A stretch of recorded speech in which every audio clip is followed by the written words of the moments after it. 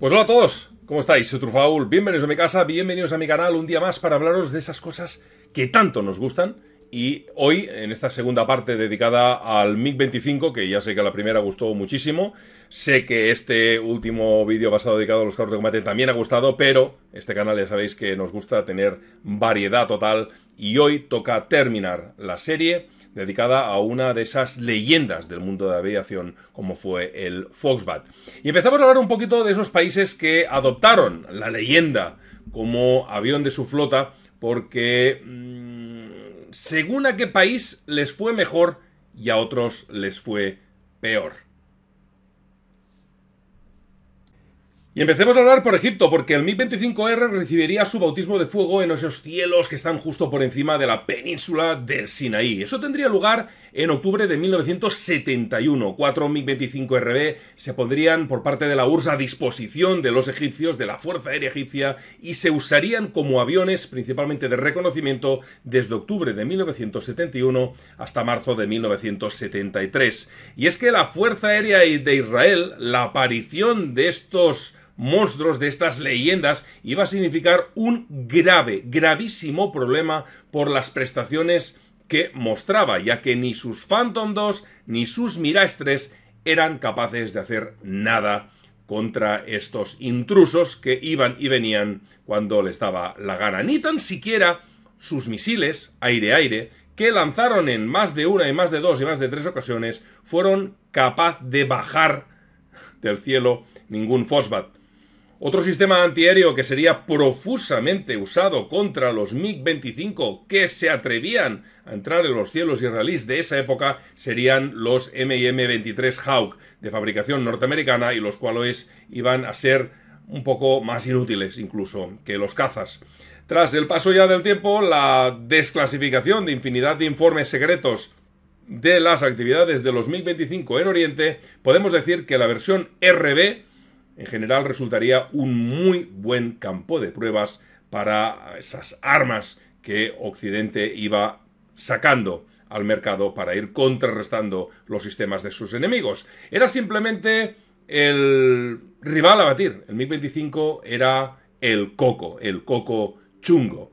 Toda la panoplia de misiles existentes en Occidente fueron lanzados una y otra vez en todas las ocasiones que podían para derribar a estos preciosos aparatos.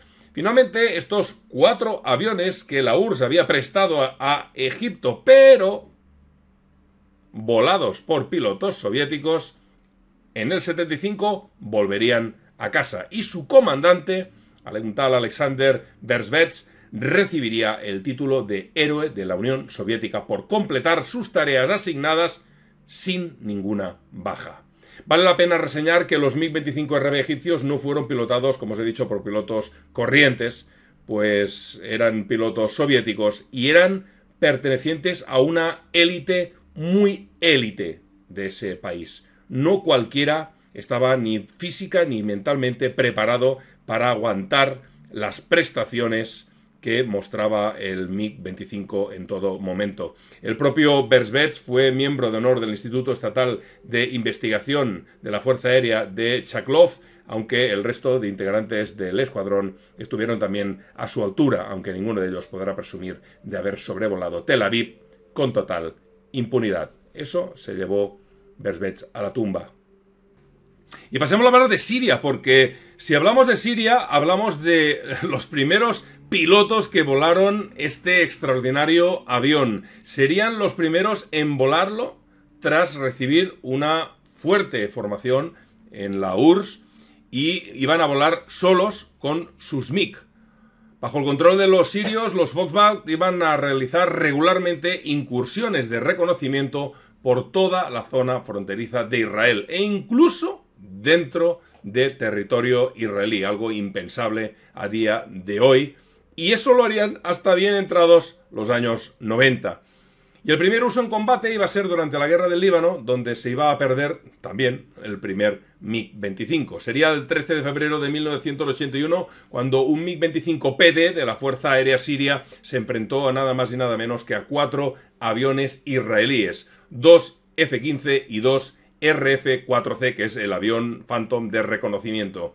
Y como puede uno pensar que iba a ocurrir, pues nada, ocurriría y el avión sirio sería derribado. El 29 de julio de 1981 tendría lugar una batalla aérea entre dos MiG-25 PD y dos MiG-21 de la Fuerza Aérea de Siria contra tres F-15 israelíes. Un MiG-25 y un MiG perdón, perdón, y un MiG-25 y un F-15 serían derribados en la batalla, aunque los israelíes jamás llegaron a confirmar la pérdida de este avión. El 31 de agosto del 82, un avión de reconocimiento Mi-25R resultó derribado por acciones conjuntas del sistema de defensa aérea Hawk y de los cazas de combate F-15. Pero amigos, en general el MiG-25 no fue un aparato que se usara mm, de una forma regular, pues era demasiado valioso para ir perdiendo unidades gota a gota y también muy caro.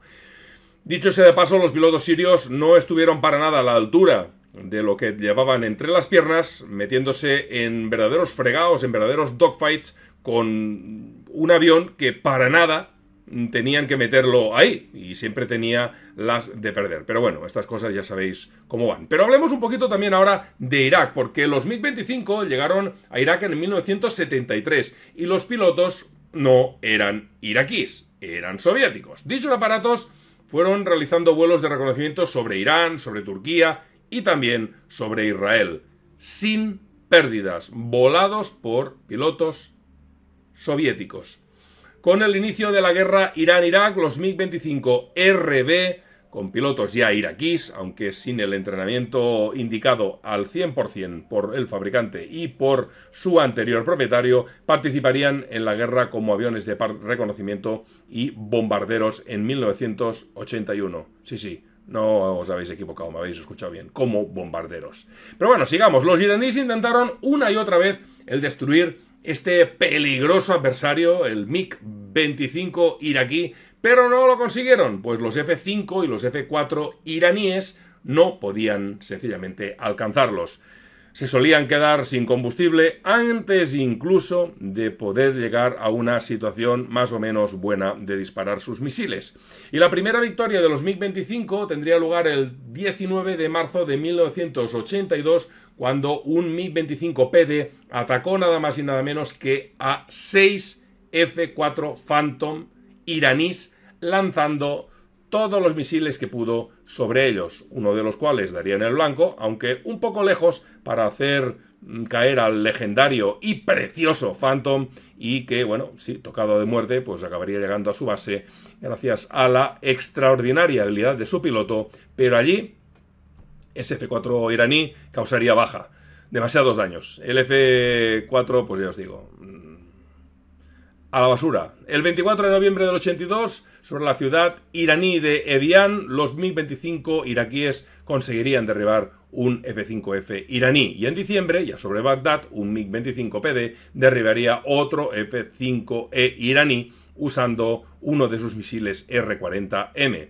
Seis meses más tarde, en julio del 83, perdón, en junio del 83, hay que ser precisos, otros dos cazadores legendarios como los F-14 Tomcat iraníes conseguirían derribar con sus misiles un MiG-25R de reconocimiento que volvía de su misión sin armas, pero que la velocidad de poco le iba a servir contra los potentes y enormes y muy peligrosos en manos iraníes, no en norteamericanas, en iraníes, los AIM-54 Phoenix este derribo sería clave a la hora de implementar nuevas y variadas formas de afrontar una situación como la que llevó a que se perdiera este avión y permitiera a los MiG-25 PD el camuflarse como simples aviones de reconocimiento. Los cazas iraníes en patrullas CAP, que estaban en zonas ya prefijadas, salían a lanzarle todo, todo absolutamente cuando pasaba ese avión de reconocimiento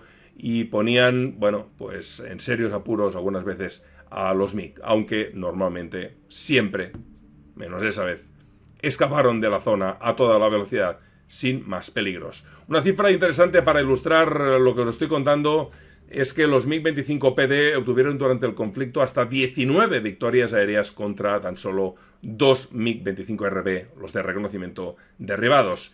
Y en Irak los MiG-25 PDS no se usaron solamente como interceptadores y un o interceptores. Un buen ejemplo de ello es cuando en 1985 se llevó a cabo una gran operación aérea destinada a destruir las instalaciones de almacenamiento de petróleo de la isla Hark tres MiG-25 RB atacaron con bombas dicha isla, atacaron con bombas haciendo blanco en dos ocasiones contra los grandes depósitos de combustible y causando un caos que ni os cuento. De hecho, es más, una de las bombas tras fallar y rebotar en el suelo acabó estrellándose en un perdido camión cisterna que se hallaba en una de las terminales y que tras la unión de diversas explosiones y varios incendios acabó comiéndose la terminal petrolífera entera. Para los que no sepáis que los MiG-25 habían lanzado bombas de 500 kilos sobre Irán, pues ya lo sabéis. Otro dato interesante que os aporto aquí en el canal y que seguro que muchos de vosotros estaréis flipando. ¡Ostras! No sabía que el MiG-25 Foxbat había servido para lanzar bombas sobre los iraníes. Pues ya lo sabéis, lo habéis oído aquí en Truffaut, Historia Militar.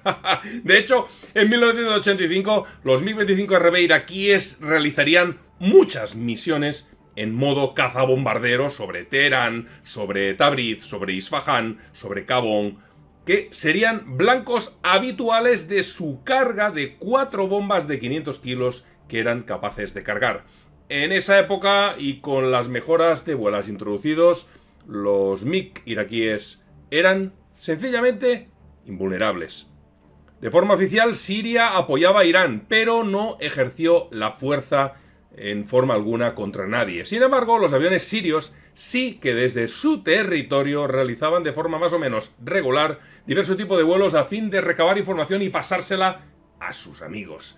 Os comento esto porque en una de esas incursiones, un MiG-21R de reconocimiento sirio iba a resultar derribado por un MiG-25 PD iraquí. Y en general, amigos, Compas, la guerra entre Irán e Irak, eh, bueno, el MiG-25 en cualquiera de sus denominaciones resultó ser una máquina sin demasiados problemas, bastante confiable por el uso que se le dio y prácticamente invulnerable al 100% a las defensas del enemigo. Irak recibió unos 40 MiG-25 de la URSS que participarían de forma más o menos activa durante todo el conflicto con su vecino.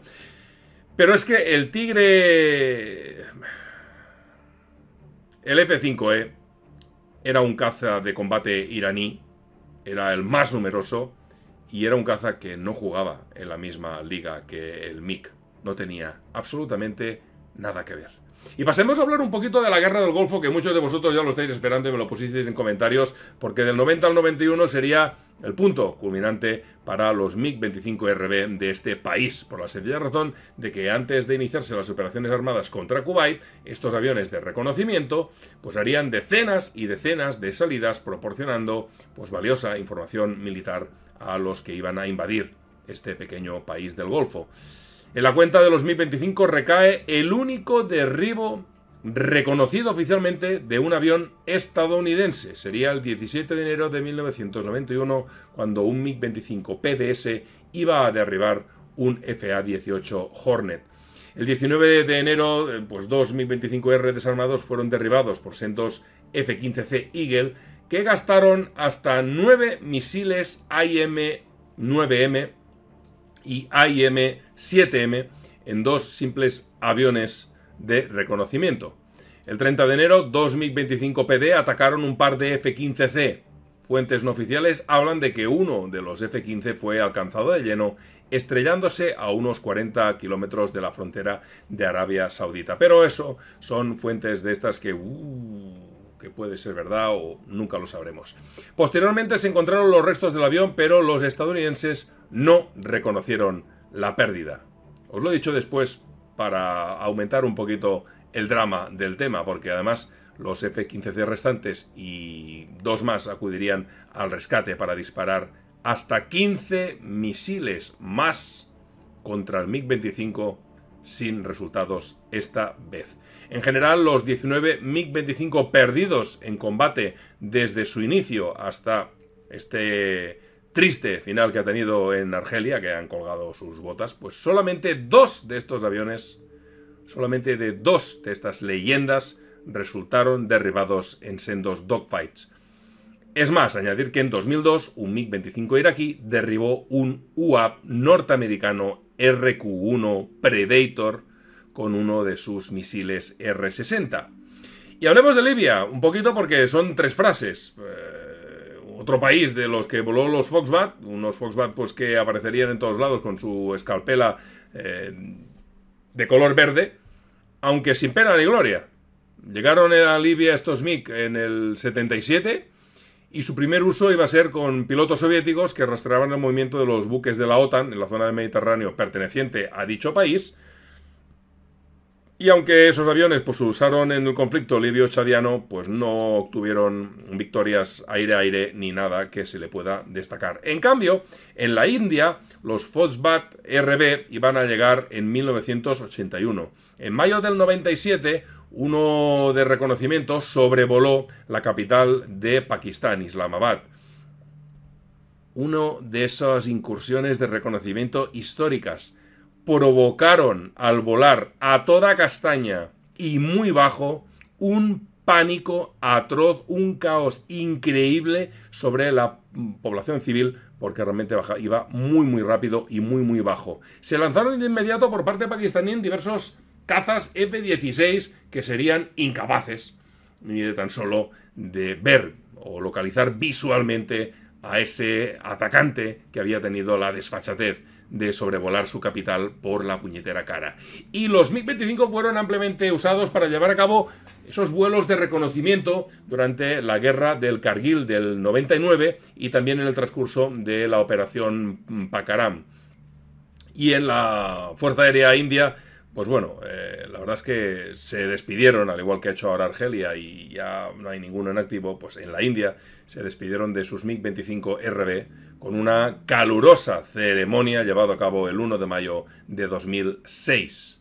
Y pasemos a hablar ahora de la URSS y su espacio, digamos, aéreo postsoviético, porque el MiG-25 de la Fuerza Aérea de Azerbaiyán, que está muy de moda en estos momentos, pues resulta que, bueno, pues mientras eh, estuvo la guerra de Irán, Irán en marcha, Irán e Irak, perdón, en marcha, los vuelos de reconocimiento de la URSS sobre Irán, pues no cesaron jamás.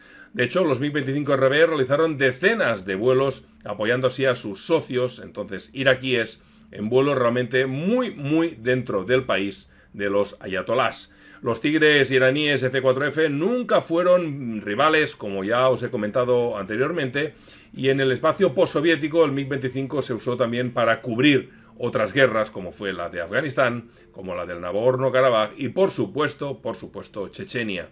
Durante la guerra del Karabaj, Azerbaiyán perdió dos MiG-25 que serían derribados y otros dos que se perderían junto a sus pilotos por razones simplemente técnicas.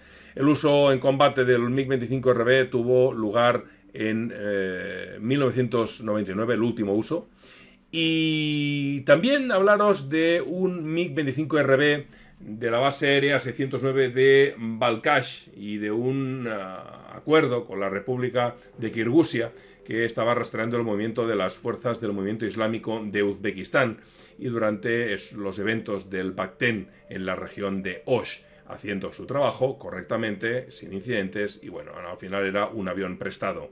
En Argelia, que es el país donde, donde se ha despedido este monstruo, pues deciros que apareció en el país en el 81, en el 82 el MiG-25 de la Fuerza Aérea Argelia respondería a los vuelos marroquíes que de forma constante violaban el espacio aéreo del país, y poco después, y en apoyo a Marruecos, algunos aviones de la Fuerza Aérea de los United States of America también empezaron a volar cerca del espacio aéreo argelino.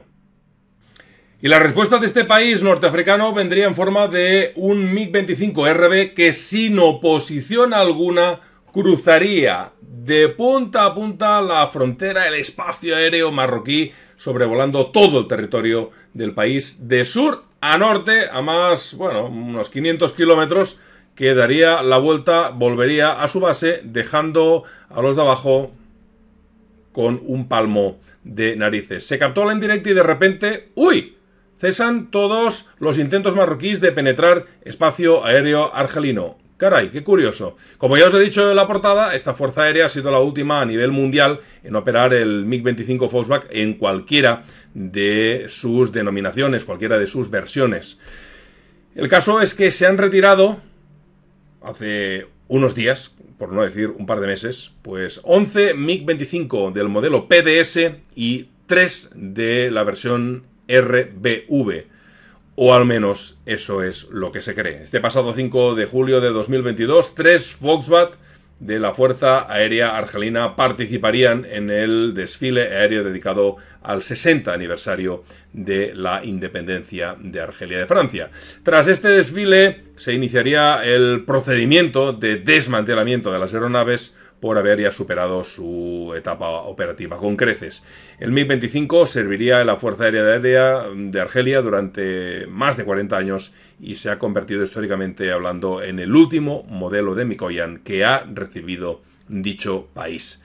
Y eso es todo en cuanto a países. Como puntilla, o acabando ese repaso inicial que hice en el primer vídeo y de los países que lo han operado y sus principales acciones de combate, decir que se fabricarían un total de 1.190 MiG-25 en todas sus versiones y que servirían correctamente en las diversas fuerzas aéreas durante 50 años. Participaron en muchas guerras, en muchos conflictos, hicieron muchas escaramuzas, tomaron muchas películas y tuvieron pérdidas, eso sí, pero también tuvieron victorias.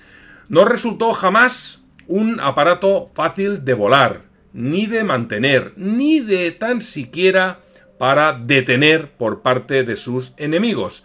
Y creedme que serían muchos los que aprovecharían el enfrentamiento entre los MiG-25 PD y los SR-71 Blackbird, otra leyenda, para encumbrarlos a ambos. Mm, aunque dejadme recordar, porque sí hubo una confrontación, pero el MiG-25 era uno de esos primeros, eh, esas primeras versiones y no consiguió atrapar al correcaminos norteamericano.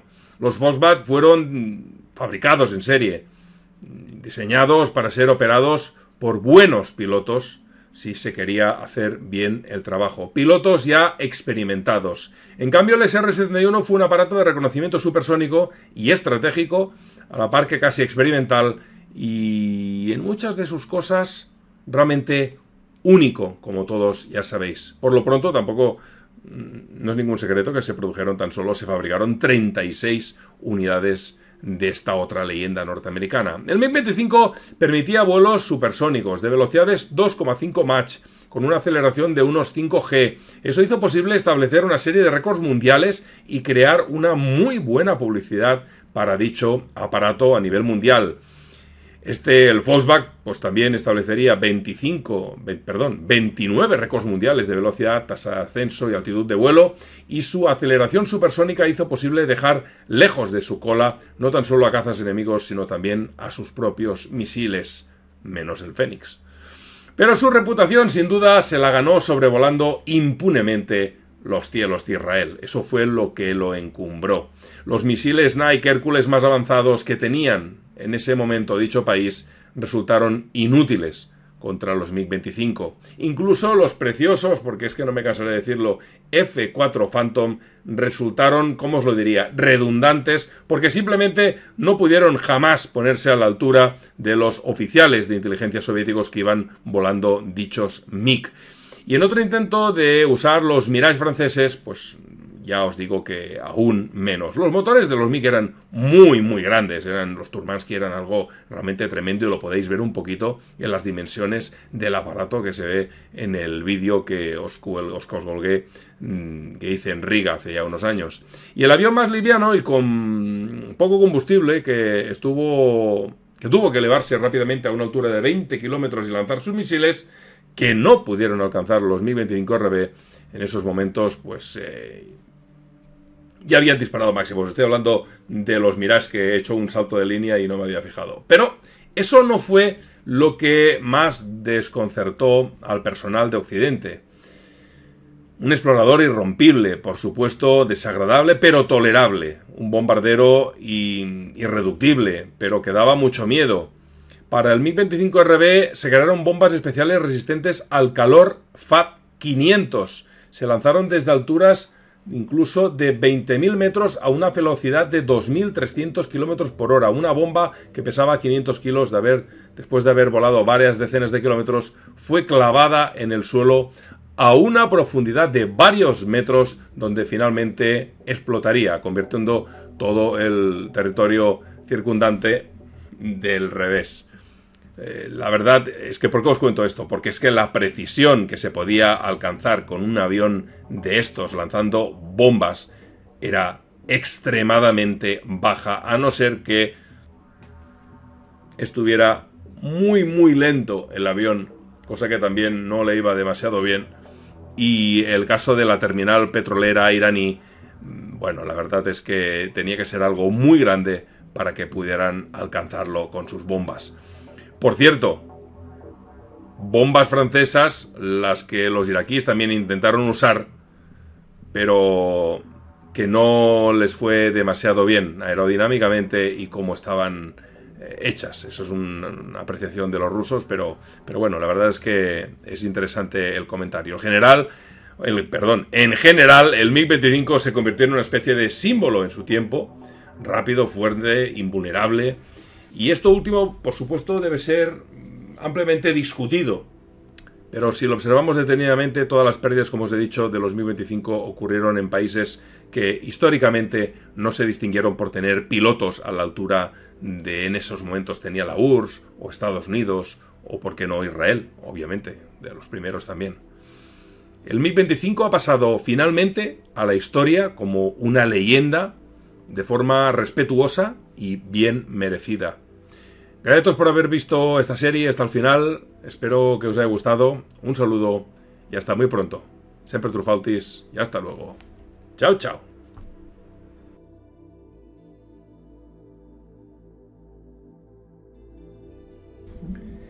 Y creo honestamente que hasta ahora no había hecho nada parecido.